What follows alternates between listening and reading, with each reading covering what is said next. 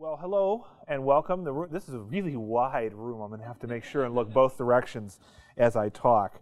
Um, thank you all for having me. Uh, I started organizing this a few months ago. There was a discussion in the PHP user group community about how it's really difficult in many cases to bring speakers in from outside. And this is an issue that was discussed, and they said, well, it'd be really great if we could find a way to solve this. And I said, well, challenge accepted. But I'm not just going to go to one user group or find a way to go to one user group. I'm going to put together their tour, and I'm going to go to as many user groups as will have me. So 18 user groups on the schedule later, here I am. Uh, and of course, as you can probably imagine, doing something this size and scope is difficult and challenging logistically. Uh, I'm sure my hair is thinner for it, and it's also expensive. And so we've gotten some sponsors together to help pay the expenses Again, I flew myself here. That's not cheap, and even an airline wouldn't be cheap. Uh, and no one has done more to help out with this tour than a group, a company called Code Climate. And they are doing something really cool for PHP that I'm going to share with you before Cal gets up here and talks. So let me put the right slides up.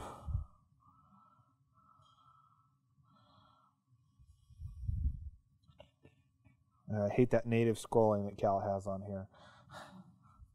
All right, so I'm going to share with you what they've been working on because I think it's really fantastic. So, all of us in our applications have complexity. Complexity is just part of software. We develop our applications, we trade the simplicity of the application for the features in our application. And we have complexity in a number of different ways. We have domain complexity that just comes from the fact that our application is unique in some way. We have deadline pressure. Nobody ever has a deadline. Our team changes from time to time. People quit, people come on board, different coding styles. Our business plans change, and we have different people on our teams with different skill levels. Not everybody codes at the same level. So what can we do about this? There are a couple things that we want to do about this. The first one is we want to assemble information. We want to put information together and say, okay, what is it about our complexity that, that, that we know, and then we want to act on that. We want to do something about it. And there are a few ways to do this. Code reviews is one of them. Anybody in here do code reviews on a regular basis? Actually, more people on average than the most of the groups I've been to, so that's good. I'm glad to see that. And code reviews are great. I, am a big fan of code reviews at Mozilla. When I worked at Mozilla, we did code reviews for everything that was on more than like three lines. So code reviews are fantastic, and there are a lot of benefits to them. They're collaborative. You talk with the developer. You and another developer, or you and several developers get together, go over the code, you learn from each other, you go through the code, and you catch issues before they actually make it into production. But there are some drawbacks to code reviews. In particular, they're subjective. There was one guy at Mozilla that every time I had him review my code, four review cycles later, he was still finding things he didn't like. Not because I didn't do what he asked me to do, but just because this time he felt like this wasn't right or that wasn't right. I avoided this guy like the plague because it were very subjective. In addition, when you and a developer get together and talk and learn from each other, the information tends to be siloed. I know it and you know it, but the rest of the team doesn't know it. Code reviews are often inconsistently applied. They tend to go out the window when deadline pressure gets really, really high because we got to ship this now, and code reviews be damned. Let's just let's just get it done. We'll deal with it later. And because everybody who's doing code review is a developer, they're not managers because managers don't code, right? Because we're all developers, we're all busy. We're all writing code, and that's our job, but we still have to review other people's code. So a lot of times these fall by the wayside. So when it comes to qualitative information, it's really hard to know if we're getting better. In addition, there are some software metrics tools we can use to get a, uh, a, a quantitative measure. And the benefits of these, they're objective and they're actionable to some degree. We can do something about the metrics. But a lot of times we find these are noisy. Anybody in here use PHP mess detector? Just one or two people. If you use it, you find out it has a lot of things that it does. It's really, really noisy. They're really hard to set up and maintain. So it takes a lot of time to set this up. And in practice, because they're noisy, because they're hard to maintain, nobody really ever looks at them. And they don't squawk, they don't complain, so nobody ever really looks at them. So when it comes to quantitative data, it's also really hard to tell if we're getting any better. So the people who created Code Climate said, okay, this sucks, let's fix it. And they did a few things that are really, really cool. The first one is they came up with a GPA on a four point scale that says generally how your code is doing. The other thing that they did that I think is really cool is they came up with a timeline that says over time which files are getting better, which files are getting worse. So you don't just see the whole overall project, but you see how it changes over time. This is really, really cool, really revolutionary. In particular, this makes changes trackable. You can see how they change over time. You can see if we've improved or gotten worse over time. You can see how your test coverage is doing. It'll hook into your test coverage. And then you can also see whether or not a particular branch, when you get ready to merge it, will improve your code. They've come up with some graphs that track change over time. PHP MyAdmin is really stable, so this graph doesn't change a whole lot. But for things that do, it goes up and goes down and goes up and goes down, and hopefully it's going up and to the right. Your quality is getting better. The idea was to make this visible so that you can understand and share this with your team. Your responsibility is shared, and you can set some goals. And the best part is that when your boss comes to you and he says, Hey, this feature's taking a really long time, why is that? You say, You remember all that code that, that we were telling you about that sucks? Yeah, let's look at this. And you see all these F's? This is what we need to fix, and this is what's killing us. So people who aren't technical can look at this and have a sense of how things are developing. Code Climate will bother you in your chat room. This is, I think it's HipChat, I think it is. Uh, it'll pop up a message and say, hey, this file went from an A to an F. Um, and it will, it will complain. So you get an instant notification. You get instant information about how files are doing. Uh, and so this makes this actionable. You can actually detect problems when they're introduced before they get into production. And you can add this to, as your part of your code reviews. Because Code Climate is really fast at this. It does it really, really quickly. And you have a subjective that rather than a subjective measure, you have an objective measure of your code. You can compare branches. So this is master of WordPress compared to 3.5. You can see that it's declined in quality. I didn't know that was possible, but whatever. And it'll also show you things like duplication and complexity. Really big, really obvious. And if you'll notice on the left, there's red. That red there is test coverage. Those are areas of the code that are tested. So it will also show you where your code is, is covered under tests. Code Climate's available right now as uh, public beta for PHP. It's free entirely for open source. Uh, and I have gift cards for closed source projects for two free months of Code Climate uh, that I'm going to pass out to each one of you. Uh, so take a look at it, check it out. Uh, any questions I can answer about this, about Code Climate? General pricing. It starts at $99, uh, and it's based on team size. Uh, so for less than an hour of developer time a month, you get automated code review, which I think is really great. So it's 99 a month. Yeah. It'll uh, work for any repository. If you have it inside your company, you can poke a hole in the firewall with an SSH key. It'll work over that. If you have it on GitHub, it'll work with that. Um, for public repositories on GitHub, uh, they consider those open source and those are free. Yeah. It's hosted by them, and they do have a privacy and security policy that you can review if you have issues. You know, I know some companies are really concerned about their code, um, which is understandable, but they do have a, a really good policy that, that you can check out. Yeah. Does it integrate with any uh, ticketing system? It does. In fact, uh, it, uh, I don't know specifically which ones it, it open it integrates with. I know it integrates with some of them, and I know they're working. In fact, uh, Noah, the co-founder, was telling me today that they're about to open source their integrations repository uh, of all the things that it integrates with. So you'll be able to add if there isn't one there. But I know it it works with a lot of them. I think Mantis is one, GitHub is another. There's a few that it integrates directly with, and they're adding them all the time. But the idea is you look at the code and you see I have an issue, you can open one right there. And they've, they've integrated that, they've made that kind of seamless uh, for that purpose. It's a good question. Any others? Yeah. Have you ever used it on a project? I have. Um, I've used it both with open source projects and with my own closed source projects. Uh, I find that it's getting better and better as it goes along. Again, it's in public beta, um, but it does show me, you know, it, it, it gives me a gut feeling. You know, my gut feeling is either confirmed or I, I see that complex something's really complex and I go, okay, I need to refactor that, I need to fix that. Uh, and I really, I've enjoyed working with it. Yeah. You said it's PHP in public beta. That implying that they have others that they're working on? Or? They started in Ruby, uh, and that's where they came up with the system that turns it into nodes and, and does uh, both duplication and uh, complexity matching. Uh, then they moved to JavaScript, so it supports JavaScript for PHP developers. That's really great because most of us use JavaScript a lot. Uh, and they're adding PHP next, or they've added PHP next. Um, they say it's in public beta because they're still tweaking a little bit, and they want feedback. They want the community's feedback. So if you use it and you go, this this this doesn't look right, this doesn't feel right, and you tell them, they're going to work on fixing that. You know that because they're interested in being a part of the PHP community and working working with the, the community to get a good sense of how this works. For shops that use more than one language, is it all covered under that $99? All of languages that they support are covered.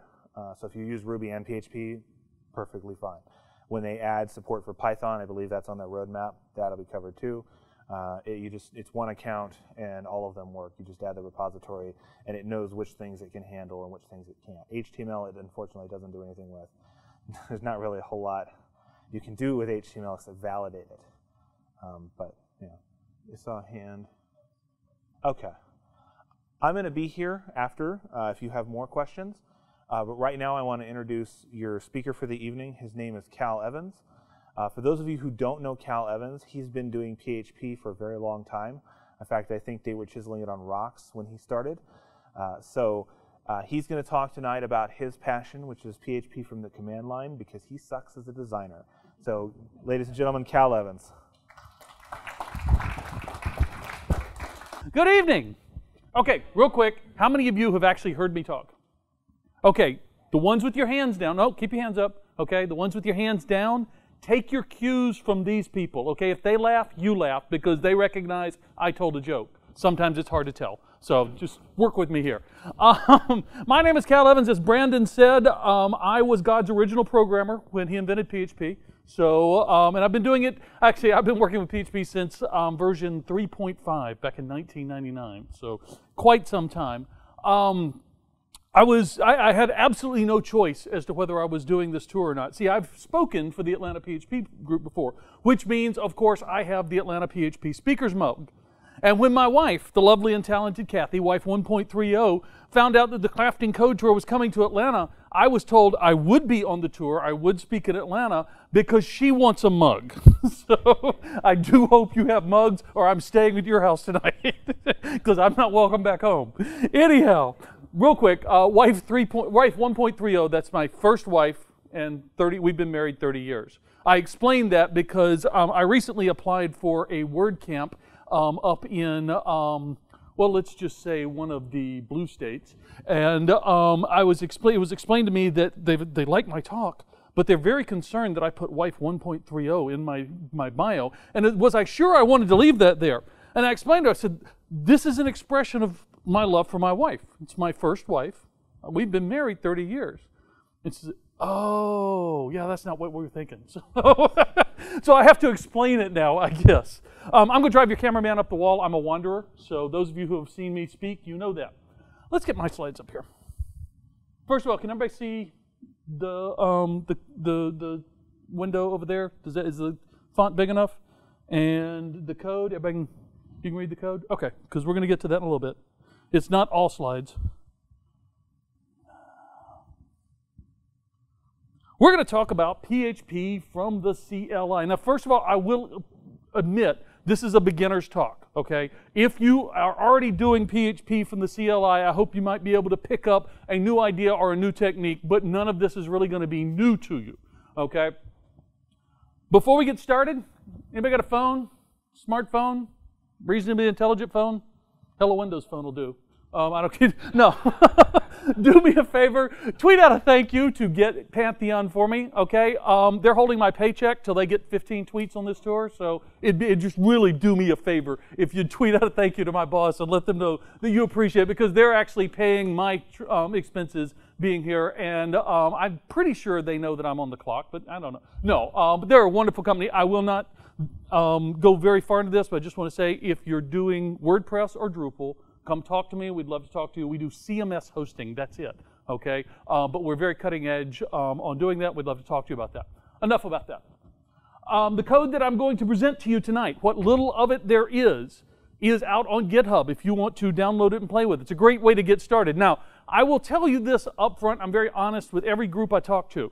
When I create sample code for a talk, they're usually absolutely asinine applications. There's nothing here that you would go, damn, I got to use that in production. Okay, it's just not going to happen. I do that for one reason. I want you to concentrate on the concepts that I'm talking about, not on the code. I don't want you looking at the code. So tonight we're going to learn how to search Twitter from the command line.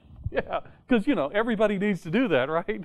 This is actually the third time I've written this talk, and the second time I've used Twitter. Um, Twitter, back when it was just uh, used HTTP auth, was the hello world of APIs, okay? You knew you could do basic API work when you could post something on Twitter. And with PHP, it was like four lines of code. It was very simple to do. Um, I mean, if I taught an entire class, and that's all we did was we set up Twitter accounts and we just posted stuff. If you're going to play with this code, set up a different Twitter account, okay? Nobody cares if it works. I, I, guarantee you, because I've gotten complaints about that. I have a Twitter account that absolutely nobody follows, nobody knows about. It is a random series of characters as the name, and I use it just to test things like this. So, first, let's talk about why, okay? As Brandon said, I suck at AP or at, design work. I mean, it, it is it, it is. I, I, don't have many flaws, but that's one of them. Okay, um, but I am very lucky to be married. That was a joke. Okay, I'm just just saying.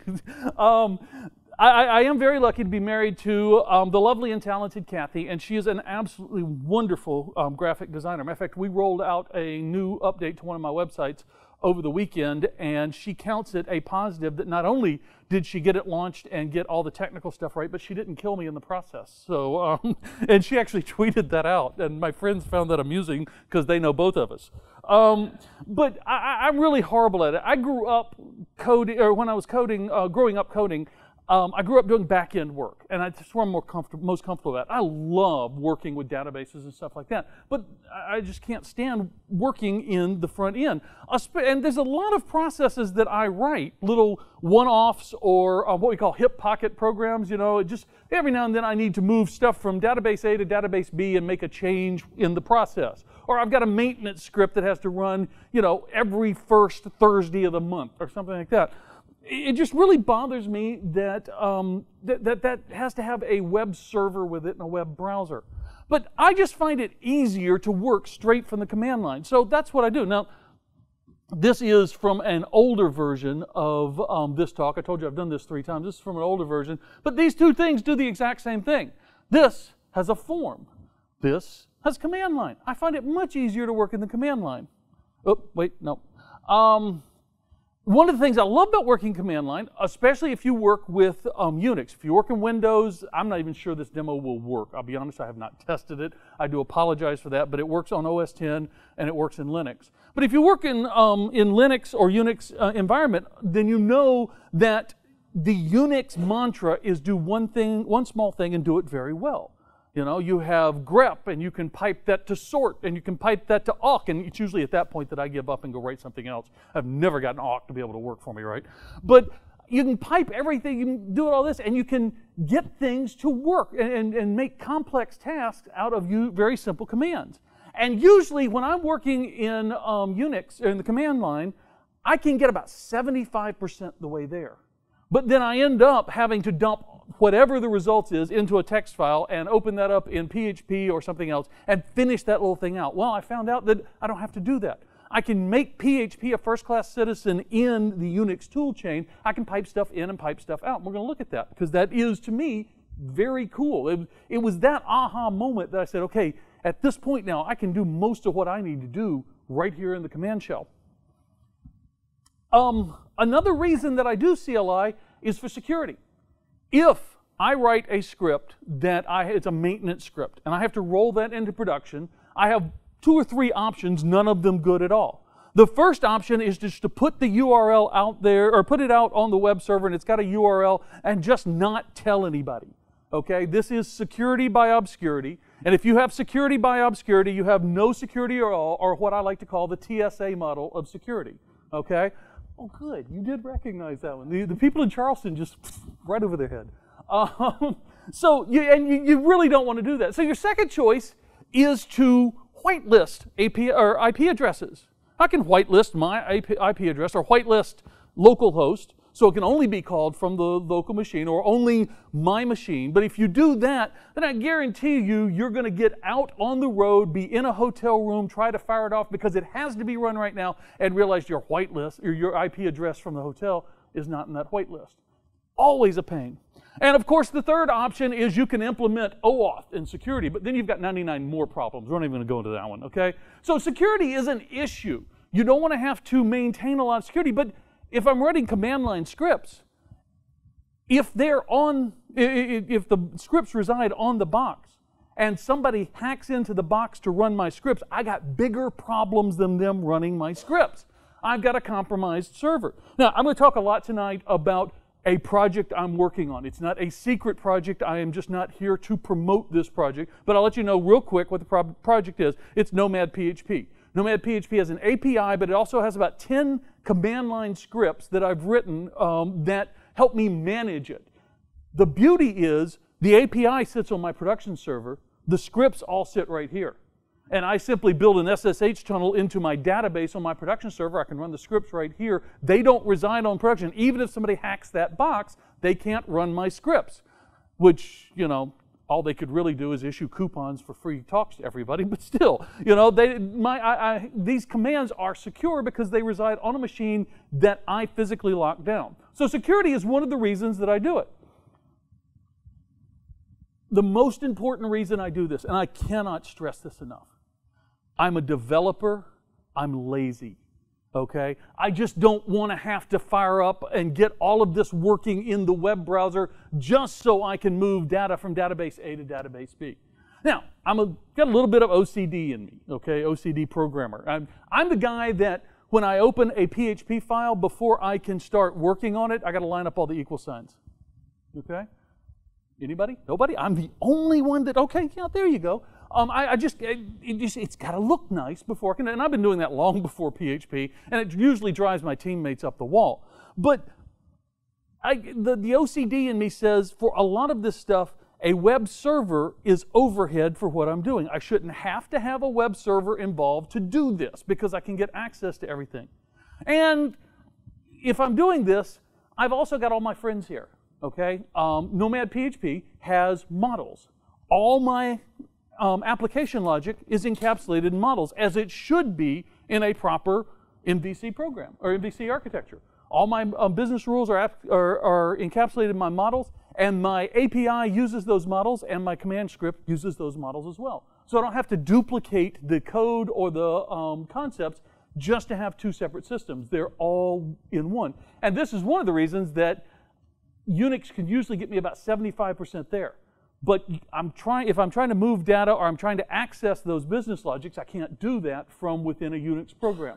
And what I would usually have to do is fire up wget and bring the script or use wget or curl to pull the script in and then output that, whatever that outputs, into my Unix pipe. But that's just not the proper way to do it. So let's talk a little bit about how we're going to do this. If you're not familiar with the way PHP works, every time, every instance of PHP has a server application program interface or a SAPI.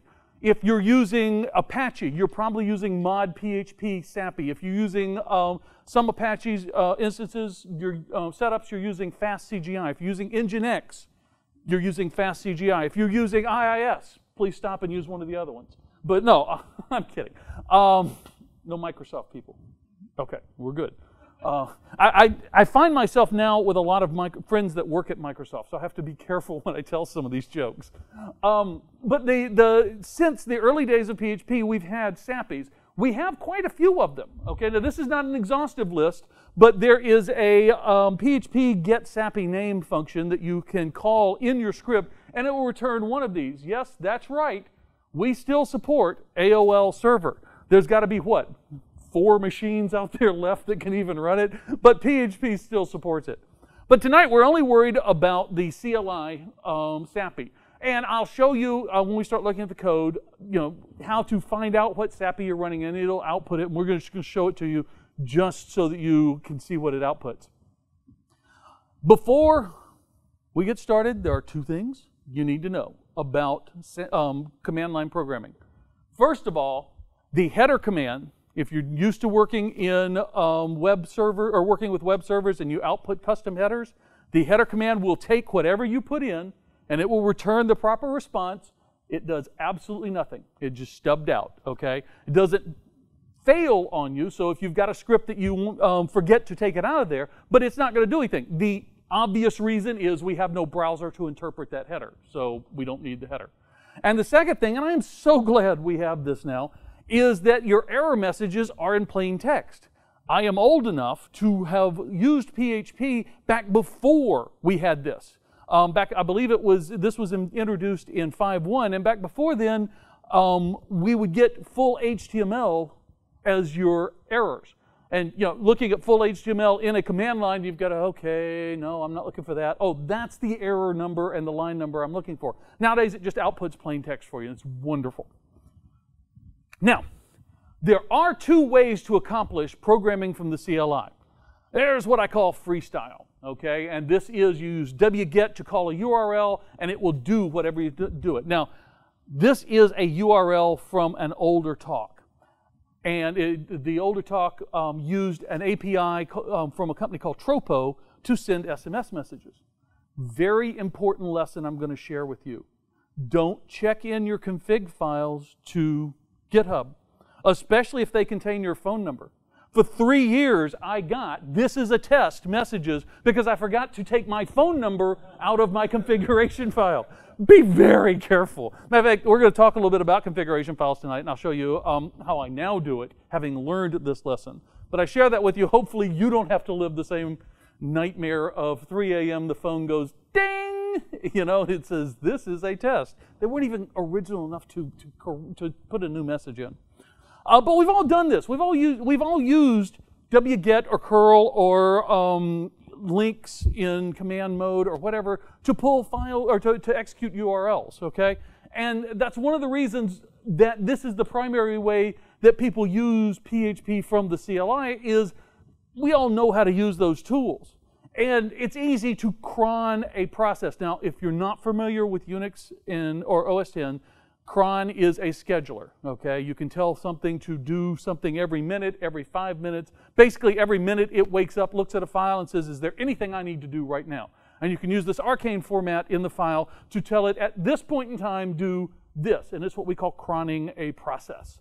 Um, and it's how we do a lot of these automated things. And we can just put wget and a URL in there, boom, we're done. But that's just, like I said, the, the, the OCD in me says I don't need, I should not need wget, I should not need a web server to do some of these things. The upside is I can usually use the code as is. I can take my existing code, modify it a little bit to do what I want, you know, maybe drop a new controller in there and, in my system and um, tell it to do something new, and we're done. And with this, we're going to have to get a whole new setup. It's going to take a little bit, not much, but we're going to have to shave a yak or two to get it done. So a lot of people just say, oh, I'll just do it this way because I've got everything and I can always use it as is.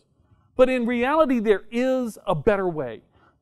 Doing it from the command line in systems that are written to run from the command line is a better way. There's a lot more options that you can use um, to, to build it, to, to make it run exactly the way you want. Um, this is not exactly a new way. We've had this, we've actually had um, the PHP CLI SAPI since, um, I want to say 4.3 is the first time I remember, recall it. And I say 4.3 because I remember researching the, or an earlier version of this talk and um, went looking for it and found a blog post that I had written right when it came out that says, woohoo, we've got the CLI. So apparently that was when it came out. But um, we, have had it for quite some time. Matter of fact, if you use any of the modern frameworks, you already have the ability to do this. Now I'm going to be using Symfony. Um, I'm going to be using a component from Symfony um, to do the, the Twitter thing. I'm also going to be using a component from Zend Framework. This is not a Symfony talk. It's not any framework talk. It's just this is how I build it. But if you've got, if you're using Symfony, if you've already building systems on Symfony or Zend Framework or R or any of the rest of them, then you've already got everything you need to do this. By the way, if you are looking at frameworks and you've not done so already, take a look at Aura. It's written by a friend of mine, uh, Mr. Paul Jones. Um, he's over in Nashville with us now. Um, I get nothing for promoting this, but it is, in, in looking at it and looking at the other ones out, it is one of the coolest frameworks out there. He really understands the whole concept of decoupling so that you can um, use just a piece. Symfony is new to this, but they've really got it going now. Um, some of the older ones um, haven't even done or haven't started yet. Zend Framework, as we'll see, is really trying, but you know, they, they really haven't hit it yet. So, anyhow, so let's talk a little bit about the pieces um, that we're gonna um, we're gonna use. We're gonna shave a yak, and then we're gonna start looking at some code. So the pieces that we're gonna use. First thing is Bootstrap. Now this is the file that we actually run. Um, it looks very similar to this. Now, if you are familiar with Unix programming, then you know shebang up there tells it what interpreter to use, and this was simply tells it everything else is to be interpreted from PHP. So we have got a Unix command shell that is running, but it's going to run PHP the rest of the time. And then we require once the Composer vendor autoload. Now, how many people are using Composer? Okay, this half of the room, seriously, got it? No, except for you. You really need to look into it. There have been two or three things um, that have changed the way I code and Composer in, in PHP in 10 years, and Composer is one of them, okay? It, really will change the... Composer, Xdebug, and the rise of frameworks are the three things that have changed the way I look at coding. But Composer really will because it, it takes care of all your dependencies for you. You need a library, as we will see when we start shaving yaks, you need a library, you tell it, Composer, I need this library, and then all you have to do is include or require once that auto load. That's the only require in the entire system. Okay, end of commercial for um, Composer. Um, we tell it what namespaces we're using, and then we load our config file in here, that .env. Now we're using .env written by my buddy Vance Lucas. It's available out on um, GitHub. We'll use Composer to install it. But all this does is create local environment variables for us, and I'll show you how we specify them and all this. But as long as you remember never to ever check in a .env into your repo, you should be good. Okay? Matter of fact, I've got it in my git ignore. I have to actually force it if I want to check in a .env uh, because I never ever want to check in my configuration. Um, in this case, it's my Twitter credentials, and you know that that would be a lot worse than just my phone number. So, um, then we look at the models. Now, I'll show you. I, I won't actually show you models in this. Um, this is a do as I say, not as I do, because there's no business logic to be encapsulated in the system. But if you're building model view controller systems, you already have a library of models encapsulating your business um, logic. Okay? So we can use those very easily. Matter of fact, we would, in this case, we just, I'm using the PHP from the CLI namespace. Um, in Nomad PHP, I'm using the Nomad PHP namespace. That gives me access to all the models that are already in there. Then there's the view. Now, the controller is the command code that we're going to be writing. But the view is kind of odd in command line code. You don't really need a view. I mean, views are great for um, doing um, looping logic and putting stuff in there and setting up one base HTML template and making sure that everything else um, or everything run looks the same. But we're dealing with stuff from the command line. It's really not going to make any difference whatsoever. So in this case, and this is the only time you will ever hear me do this, I, I simply put the output right in my command, okay? Because we're just outputting straight to the screen.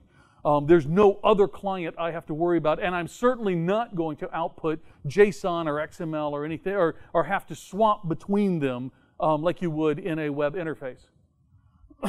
and then the controller. Now, in model view controller systems, the controller is called the controller. In this system, they're called commands, and you'll see them uh, when I show you one. You'll see that it extends the Symfony command, but it acts as the controller. Controllers in model view controller systems act as your traffic cop. They are what instantiate your models, what tell it your models to do something, and usually what tells your view, go display this. But in this case, it also just handles the view piece for us.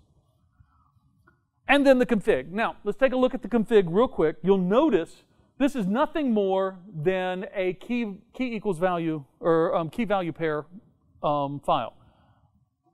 The keys are on the left, equals the separator, and anything on the right is considered the value. Notice the keys are all in uppercase. There is no rule that says it has to be that. I can use uppercase, um, lowercase, I can use train case, snake case, whatever case I want to use.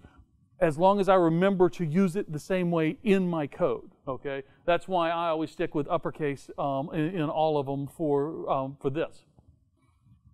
So we we set this. These um, we'll get these pieces from Twitter. Now, if you are going to set up a, a, separate Twitter account, and I strongly urge you to do that, um, the first thing you do after you get logged in with your new Twitter account is go to dev.twitter.com and get access to the API. And they'll have they'll fill they'll, they'll have you fill out a form that asks you all kind of important questions. Why do you want this? And all that. They really don't care. I have put poopin in every field, and they're fine with it. Okay, so um, just you know, fill out the form. When you go to get your OAuth credentials, put your or tell it you want read write. And this is important because this system only uses read. We're only reading from Twitter, okay? But in three months, when you go back to it and say, hey, if I can read, I can also write, then, and you haven't done that, then you got to go back and get all new credentials for read write. So go ahead and it's a checkbox. Tell it, I want read write access, and then it'll give you your OAuth, um, your OAuth credentials, and you can put them right here in this file. This file, a sample env, is included in the repo. Okay. We got to shave a yak here. We use the Symfony console as the basis of our system. We use Vance Lucas's php.env. Now, if you download the, um, the, the repo, all you have to do is go in the repo if you have Composer installed and say Composer install, boom, it's going to suck all this in because the JSON, um, the, the, the, the composer.json is already in there for you. This is going to bring in one file. This is going to bring in one file. We're talking a thousand lines between them. This is going to bring in a 100,000 lines of code. Zend really has not figured out how to do this small stuff. this, this code, this, the Zend Twitter account or Twitter client is actually bigger than the rest of the system combined. And having said that, it is the one that I continue to use simply because it is the one that I know how to use. Pardon me for just a second. Okay, so we do all of this. We, do, we tell Composer to require those. Those are actually commands that you execute in your command uh, from your command line. Um, and then we do a Composer install. Boom, we've got everything we need. Let's finish shaving the yak. Let's flesh out our directory structure. Um, this is the Composer JSON file that comes with it. You'll notice down here in the auto load section, that's the important part. We tell it that our namespace is PHP from the CLI, and that's also the directory that everything is stored in. And those two are the same on purpose. They have to be the same. But we tell it that this is going to be in a directory called app. Okay? So you have your project file, or project directory. It has a directory called app, and it has a directory called PHP from the CLI. And everything goes underneath there. That's the for the PSR autoloading. Ever familiar with PSRs? No? Okay. Most of you, uh, some of you are. Um, PSR is a, um, Brandon, I done forgot again. No, it is FIG, um, the Framework Interoperability Group, but I forget what PSR stands for. Ah, PHP Standard Recommendation, thank you. Um, the Framework Operability Group is a member of the the leadership from all the major frameworks and most of the major projects. Um, and we all get together online and figure out ways to make life hell for everybody else. No, um, we try to figure out ways so that all the frameworks work together um, for common causes. And the very first thing that we put together was the proper way, or the, the acceptable way for auto loading to be done. And most of the modern frameworks these days, um, and in, uh, including um, Drupal and a couple of the CMSs, um, will support PSR 0. So if you see PSR 0, that's auto loading. Um, it just means that all of this works. Oops, all of this works without a problem. Okay. Um, this little class map down here is in case I want to put my own stuff. And if I put my own stuff, it says um, they'll be in a directory called SRC in the root of the project. So app and SRC are in the root of the project. This just lets Composer know where to find everything. The rest of this is just boilerplate. These will be automatically put in for you if you're doing the requires or if you um, download the code, they're already there. One quick side note, you'll notice that I have a license called MIT, okay? Um, if you have code that you're open sourcing and you're putting up on GitHub, please put a license on it. If you don't put a license, what you are in effect saying is, look at all this cool code I've written that you can't touch. Because none of us can use it if we don't know what the license is. Uh, we can't use it in our open source projects because what if you decide to come back and say, well, I didn't put a license on that and I'm not going to license it to you now? So we can't build with it. And we certainly can't use it in our um, corporate projects without a proper license. There's 35 approved license by the OSI. I love MIT. It is the simplest one out there. It simply says as long as you leave my name and my email address on here and, uh, in the copyright notice, you can do whatever you want with this code, okay? Doesn't require anything else. So that's what I use. But if you're putting it up on GitHub and you want people to use it, please put a license on it. Okay, we are pretty much done with the slide portion of our program. Let's, let's look at some code. Okay, um, I'm going to have to do this backwards, so that's going to be fun. I got to find my mouse. Oh, there we are. There's the mouse. Okay, I'm to, we have four commands in the system.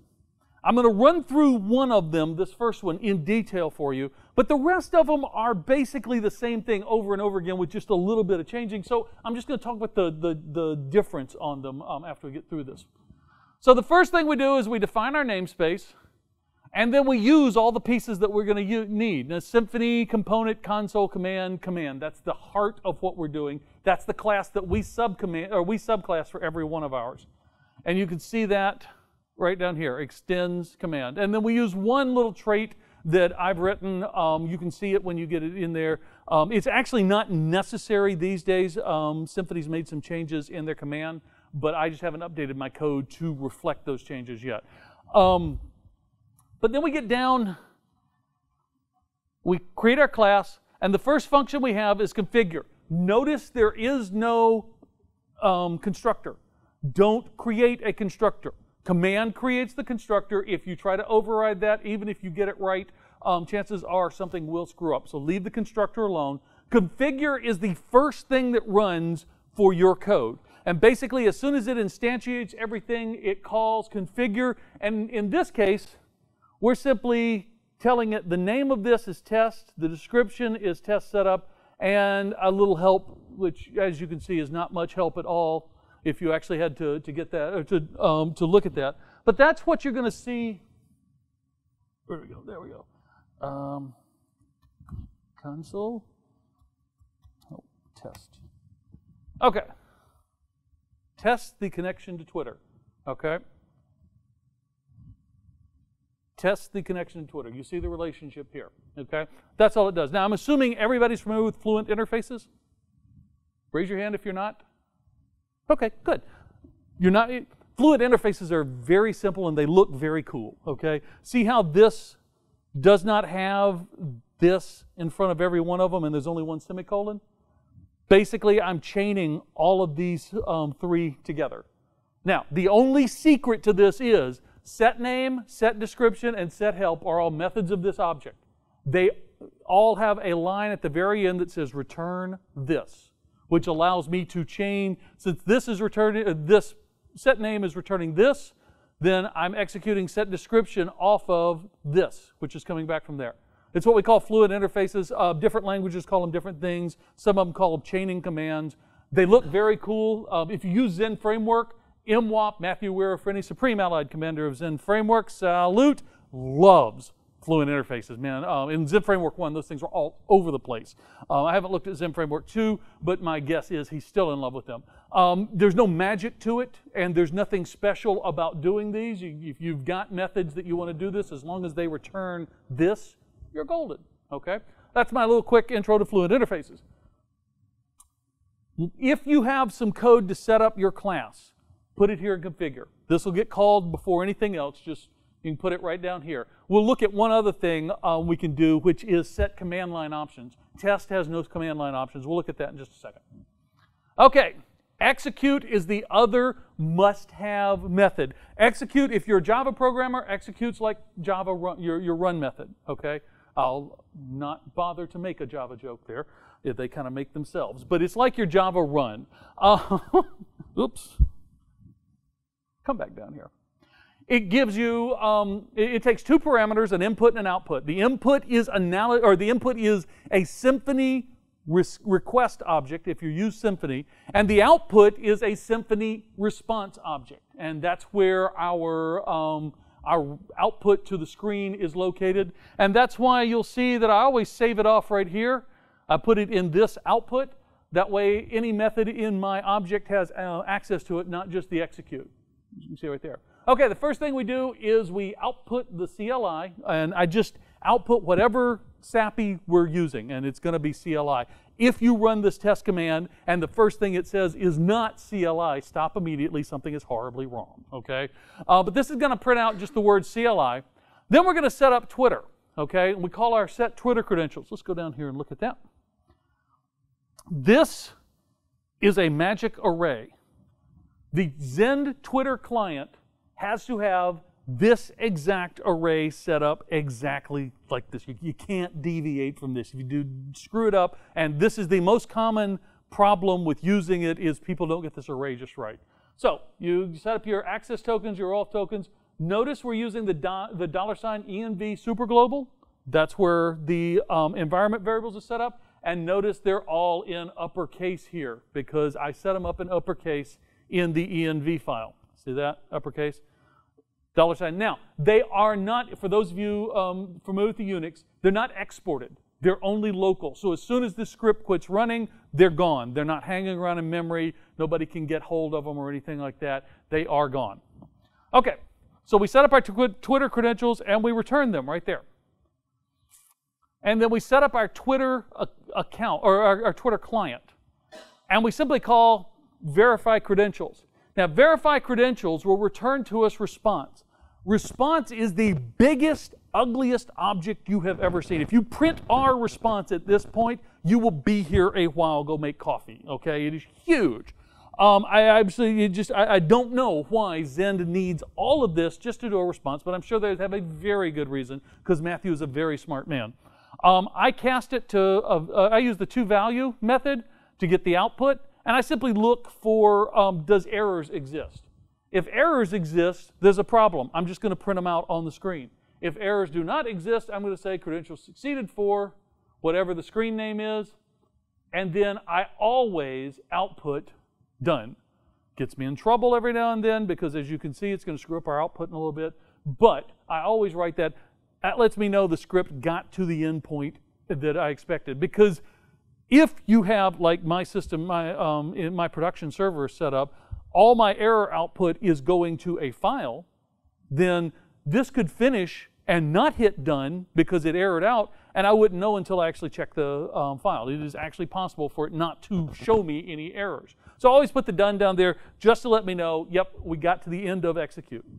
Okay, let's take a look at this, what this looks like. This is going to wow you. Be prepared to go ooh and or ah. Boom! We have done. Thank you. He's paying attention. Um, notice the very first thing it says is CLI because we're using the CLI SAPI. If for some reason you set this code up and called it from a web server, and it wouldn't be too terribly difficult to do that, um, then it would not say CLI. It would say fast CGI. It would say mod PHP. It would say whatever you know, the PHP interpreter you're currently using.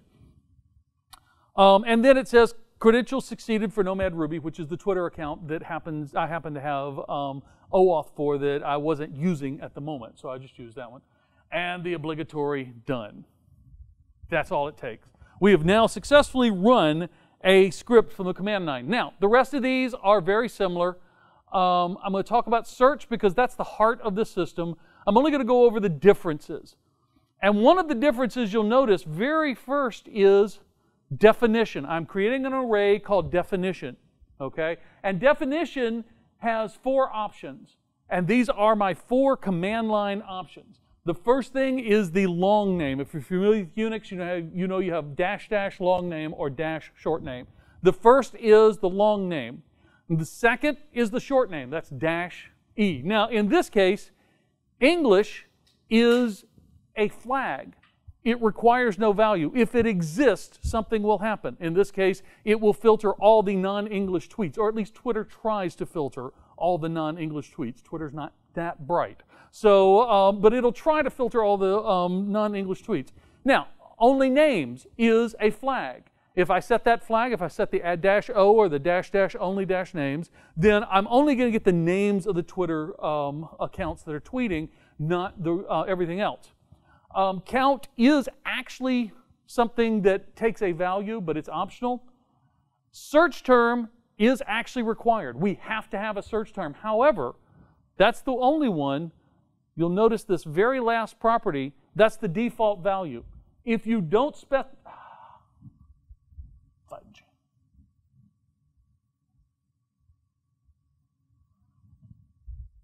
If you don't specify a value for search term, and I usually don't because I enjoy searching for um, the hashtag PHP just to see who's talking about PHP, but if I don't specify a search term, which is required, it will use hashtag PHP as what we're searching for. Let's get that back over there.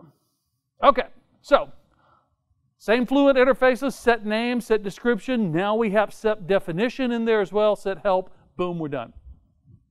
Down to execute. I pull off output. Now I've got this method called set output. And I found this really cool, so I'm going to show you. This is the only time I've ever done this, is in this sample code. Symfony's um, output system has formatters, and you can do all kind of things with them. In this case, I wanted to color, colorize things a little bit. So my username for the tweet is going to be in green because you can't see that, but it says green there. And the tweet is going to be just in regular black and white, okay? You can do all kind of things with the formatters. I just chose to do that. The important thing here is we have to use this in a tag, like an HTML tag, surrounding whatever we want to be defined as the username. And so you'll see that. But we set that up down here, and then we just return. Okay, we set up our output or our, our options using the input get option.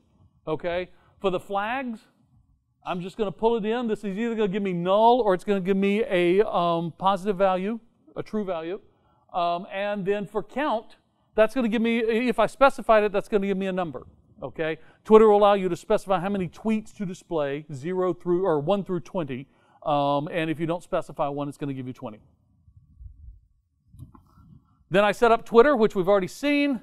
I set up my search options. Now, the um, only two search options we have are specifying a language and specifying the count. Those go in an array because the actual call to search tweets, it wants our search term first, and if we do not specify one, it will use the default. And then it wants our array of um, search options. So anything else. Search term is separate, it's not part of the um, array. Okay, and we get down here. And again, it's going to give us a response, which is a big honking thing. It's got an awful lot of things. All we really care about are the tweets themselves, and those are called statuses. So we cast it, or we use the to value to bring it as an object, and we say of that object, I really only care about the property called statuses. Now this is new in 5.3 that we could do that, but that way I don't have to say response to value and then tweets equals um, response statuses. I, I make this all in one call. And I put that in a for next loop, output it. Notice I use username here. And if we scroll over, you'll see I wrap this in a tweet tag. That's for my formatters. And the obligatory done. Okay? Let's take a look at what that looks like.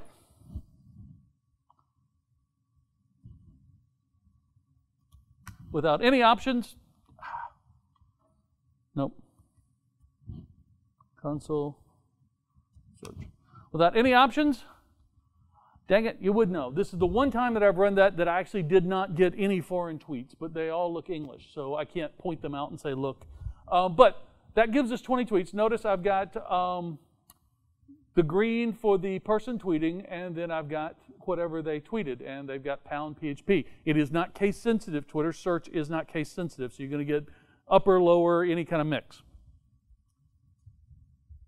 That's it. You can now search Twitter.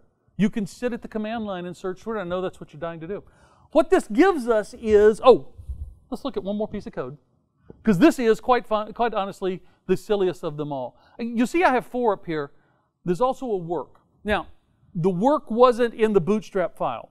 And I never show that as part of the bootstrap file, but I, every one of these that I write, I have a work command in there for one reason. I get halfway through working on a command and I'm like, okay, how does this work again? And I just need to work on this one little piece. So I have work command, I can just pop that in real quick and type console work, and I can put any code I want in there and it, you know, I can execute it and I can work on a little sub piece of it until I get that right and then put it back in the command. I always take that back out. Never, ever, ever, if you do this, never check work command into your repo. You never want to do that because you don't know what you've left in there. And usually when I've got stuff in there, I, have been known to um, encode passwords in there and all kind of stuff. It could be horrend- horrendous if you actually do that. So don't check your, uh, if you use a work for a scratch pad, don't check it in. Um, but the other one is echo. Now, echo is quite simply the silliest command I think I've ever written. That's, that's it almost in its entirety. Um, and it comes down to this piece right here.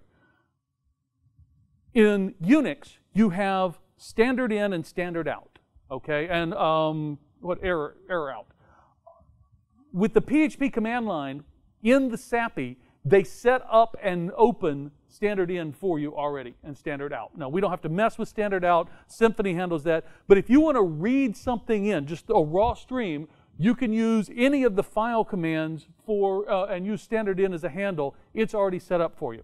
And we're going to do that because all this does is this takes whatever's coming in from the standard in and it writes it back out with a line number and a colon. Okay, pretty simple. I can show you how that operates. Where'd it go? There we go. Console. Oh, no, let's go over here. That was a cow. I am not vain enough to have my own Unix command. That's the calendar. For those of you who don't know Unix. Um, and we'll say echo. And notice we have 1 through 7, a colon, and then the month's calendar. Okay? That's all Echo does. I know, stunning, right? Um, but anyhow, now that we've got all the pieces here, we can say console, search, and let's go English only. And let's, that's still a little too verbose. So let's get just the names. Now, notice, Brian Webworks is being very verbose tonight, okay? And there's a lot of times when you do this. Now, usually well, when I'm doing the, what I'm about to show you, I'm usually searching through a um, Apache log looking for IP addresses of people that are trying to do bad things with my web server. But we've all done this. You go through that, you pull out the IP address, and then you got to figure out, oh, you know, well, I need only one line per IP address. So if you use Unix, you use the sort command and then the unique or the unique command, and you've got all this. Well, let's let's play with that. So Let's take our console and let's pipe it to sort. And let's pipe it to unique. And the first thing you'll know is, notice is the green goes away because the Unix commands don't honor the ANSI commands that are in there, or the um, color codes that are in there. But now we've got it down to just a few people. But how many people do we actually have? Well, we can, since we have this handy dandy stupid little echo command, we can say console echo, and it echoes out a formatted list. There are nine people that have tweeted the last 20, 20 tweets about PHP. And I know all of you are going, but Cal, the web interface for Twitter will do this. Don't miss the point. Look at what we've done. We've taken our PHP code and done something with it, and then we've started, we, we've sent it through sort, and we've sent it through unique, and somebody, usually at this point, I've got um, some smart aleck who will point out that done is still in there. To which point I always have to go in here and say grep dash v done. I think that'll do it. So now we have the eight. Thank you all, all for not being that group. Every other group has pointed this out. Um, but look, We've now, we, we've taken our PHP, we've run something, and then we've started piping it into Unix commands. Now, there's a ton of Unix commands, and there's also other commands that you can use, um, Ruby commands, or if you want to run, pipe it into a Python command. But then we've taken the output and piped it back into our program and done something with it. PHP is now a first class citizen of a Unix tool chain. And to me, as a Unix program, because all my web servers are Unix, I use um, OS X on my laptop and I've got a Mac Mini at home, so I'm pretty much dead set on Unix. This is awesome to me because now I've got all my Unix friends that I've been using. I've been doing Unix since 1985. My first instance of Unix that I ever worked on was Xenix. I don't know if you remember Xenix, and this is one of those I kid you not moments. Xenix was Microsoft's license of Unix. Okay? It's been that long ago. But I, have been learning all these commands, and I now have them access to them. And instead of Unix getting me 75% of the way there, and then I have to pipe it into a file and open it up in a text editor and finish it myself, I can now pipe it into PHP and make PHP finish it out for me. I can also do all of this in a cron job or I can do a piece of this in a cron job. Um, like I said, with Nomad PHP, I have several of them that run on a regular basis that are just uh, this exact same code that you, you've been seeing. They're, they're um, Symfony commands that I'm running like that. Thus endeth the coding portion of our session. Let's swap back to the slides and finish it up. Can I have my mouse back? Thank you. Okay, so let's wrap it up. Why do I do it? I'm lazy and it's easy to do. That's what the, the, the, the um, first part of it. The other reason is I never ever have to worry about HTML. I don't want to mess with HTML. I have trouble with design, as you can see from my slides, because this, if you've ever seen me talk, is my standard slide deck. Black text, white graphics. I've got um, two pictures, three pictures, at the, on, on, one slide, and that's it, okay? I don't want to have to mess with this stuff. I'm a back end programmer. It offends me to have to set a color some on, stuff that doesn't need a color. I can. I can use this to write maintenance scripts. I don't have to run my maintenance scripts from a web server anymore. That just the OCD programmer may says, I don't need this. Why should I have to have it? This one's important. As of PHP 5.3, we can now run long-running processes that run from the command line. Up before PHP 5.3, there was a bug that had a memory leak. Um, I found out the hard way. I was um, running a team out in Santa Clara in um, 2004, just right before I joined Zend. And we had a client that had 30 web servers. Each web server would generate about a gigabyte a day of Apache log files. And they needed all of those sucked in so that they could merge them and sort them and hunt them down or um, do searches on them. And I said, oh, well, that's easy. Database. So I wrote a script that would bring them in one file at a time. And my test files had 10,000 lines each, and they would run approximately two or 3,000 lines per second. And just scream. And I figure, hey, this is the way it's going to work. Well, I started it, went home, came back the next morning. It was running one record, not one file, one record every four minutes. Okay? And my machine had absolutely no memory left. I had to turn the machine off to stop the process. That's when I found out that PHP had a memory leak. But in five, um, as of 5.3, the, um, the, the core gods have blessed us. They have fixed this problem. And so we can now run long-running processes. I actually have a process running on my little Mac Mini back at the house. It's been running three months. Now, it's not a terribly difficult process to run. It wakes up every 10, 20 minutes and says, hey, do you have anything for me to do? If not, goes back to sleep. When it does wake up and there's something to do, it runs for about a day and then it goes back to sleep. But it's been running three months without interruption.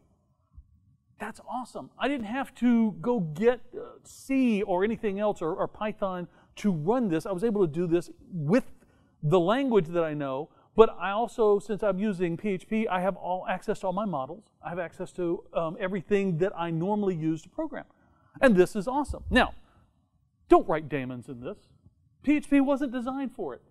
And I know if I don't specify that, somebody's going to tweet, Cal said write daemons in PHP. No, it's not what I said. And quite honestly, if you're running a, if you're writing a long process, the process is going to be running for a long time, look and see if a queue won't do the job better for you. Okay, about half the time a queue will do it um, just as good or better for you, and um, that's a better tool. But anyhow, you can now write long-running processes. My name is Cal Evans. You can find my blog at blog.calevans.com. I don't say that to get you to go out to my blog. I'm warning you. If you type that in, you're going to come to my blog. You probably don't want to go there. If you're there, it's by accident. I'm absolutely positive. Um, you can follow me on Twitter I am an attention whore.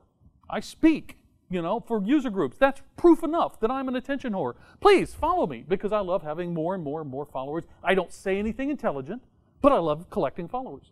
Um, I work for a company called Pantheon. Like I said, we are a CMS hosting solution, uh, very high end. Uh, we have um, very small clients like the Boston Herald, and uh, we host a site for, I believe, Netflix, and uh, not their main site, but we host a site for them. Thing, little little companies like that. But if you'd like to be in that kind of group, we'd love to talk to you. And finally, if uh, and I, I, hesitate to mention this, uh, can I talk about Nomad? You sure? Okay.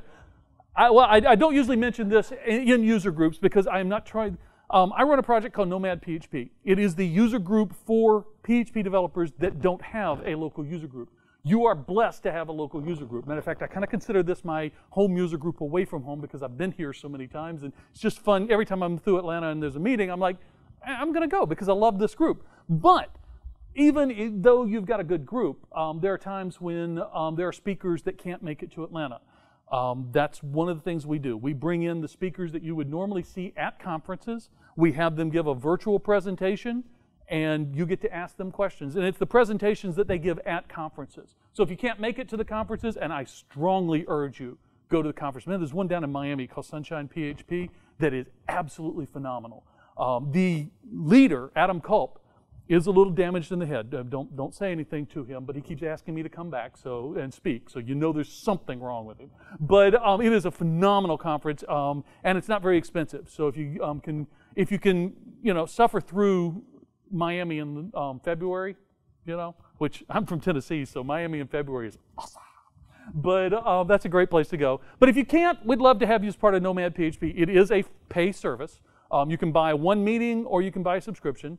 Um, subscription gets you both meetings every month, and you get the you get to down at that point you get to download the videos, carry them on your iPad, watch them on the Marta, or don't don't watch them while you're driving, but if on your commute if somebody else is driving, that'd be a great thing to um, kill time.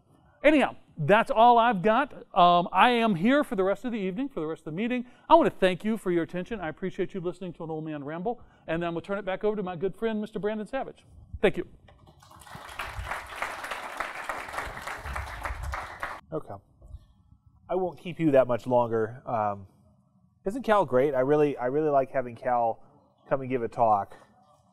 So, but uh, thanks, Cal, for coming and joining us, and thank you, Pantheon, for letting Cal have us.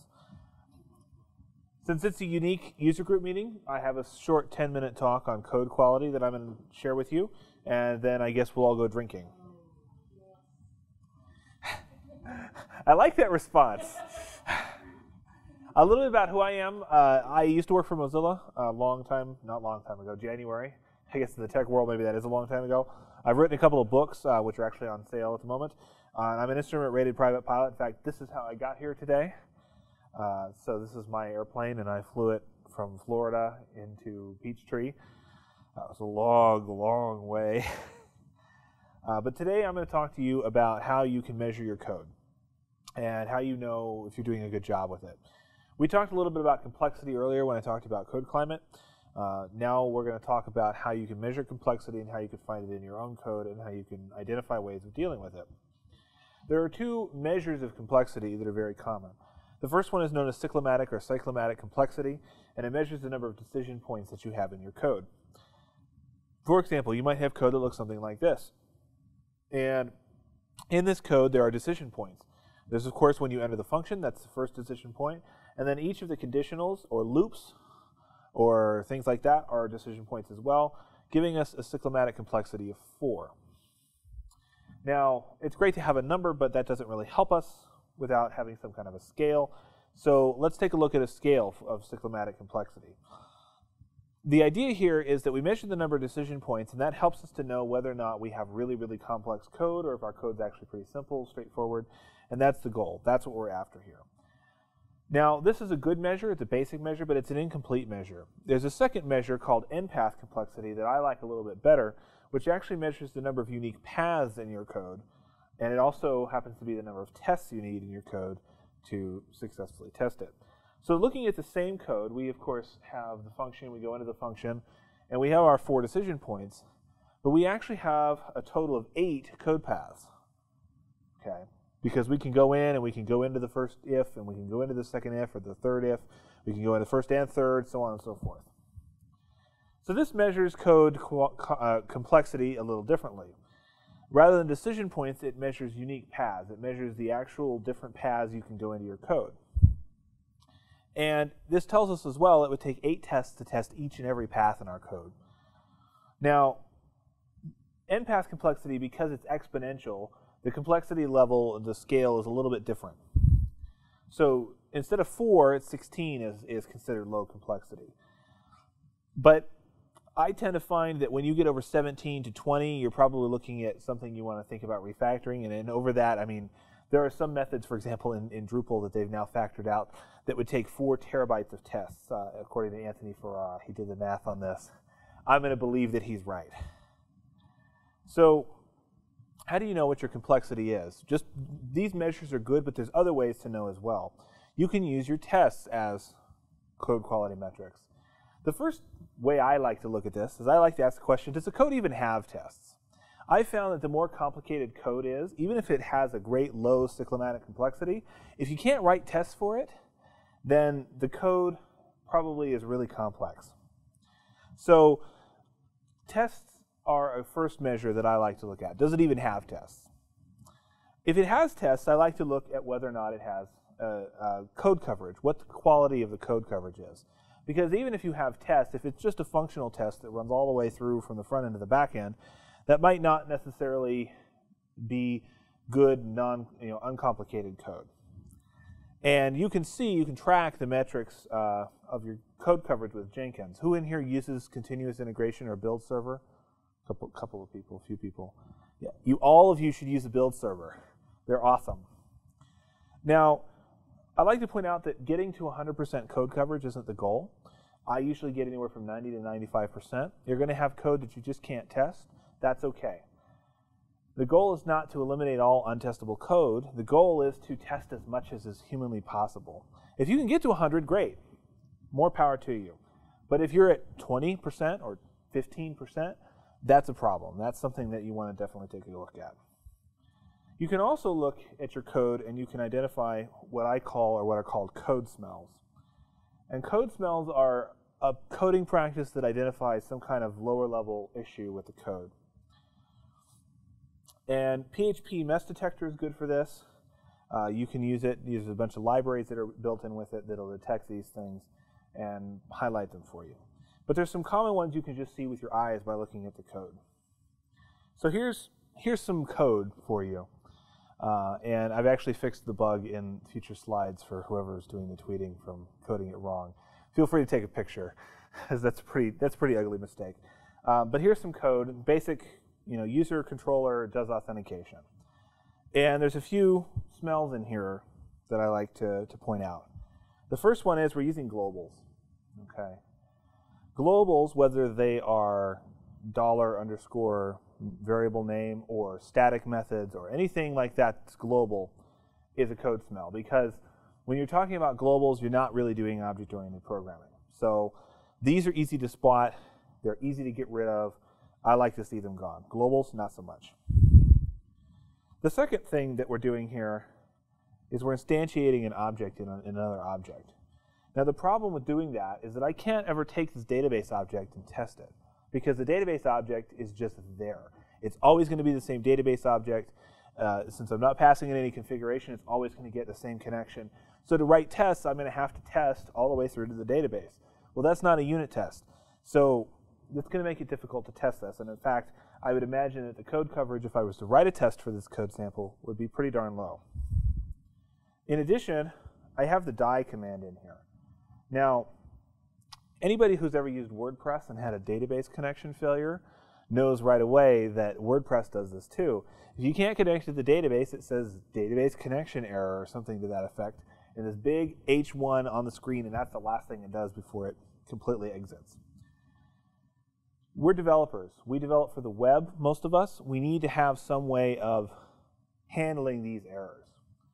Try catch with a redirection to a 500 page, uh, some kind of useful information for the user, just handling the error. You know, we could we could do something with the error. That's our responsibility. Um, when you're doing the command line like Cal, you can use die all you want. But when you're doing it for the web, we have to handle this in some way.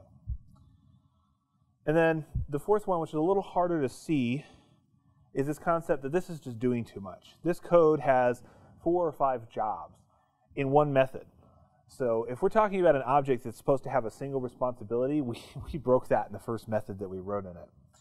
Uh, this has to do the SQL, get the globals, create the object, handle the results, and then do something with it. So this, this is a code smell that you want to get out of. The more your object or your method does, the more problems it's going to create. Okay, I said it was a fast presentation, and it's a fast presentation. Any questions about what I said that I can answer? Or that Cal can answer if you have questions about his talk? He's shaking his head in the back. So, Okay. Um, I'm teaching a class in Atlanta tomorrow. There's one seat left in the class. So if you are interested in learning about object-oriented PHP and actually doing it hands-on, please feel free to go to this link and register. But there's one seat left. So if there's one of you in here that wants to take it, you'll get lucky, and everybody else not so much. Um, so I'm teaching that tomorrow. Feel free to, to ch check that out. I want to say thank you again to Code Climate for having Cal and I here. Uh, they did, a, you know, they, they, they've done a lot of work with, with this, and we're very thankful for them. So please tweet at them, say thank you, uh, take a look at the gift cards. Mandrill bought pizza for everybody tonight, so if you enjoyed the pizza, definitely thank them as well. Uh, they've given me some T-shirts. I think Chris has some T-shirts that he may or may not give away, um, and but definitely thank them as well. Thank you again to Pantheon for loaning us the great and powerful Cal Evans. And thanks again to all of the sponsors that have made this a possibility, uh, because Cal and I wouldn't be standing here if it wasn't for them. So thank you all for coming. I'm going to turn it over to Chris. He's got some announcements, uh, and let's go drinking.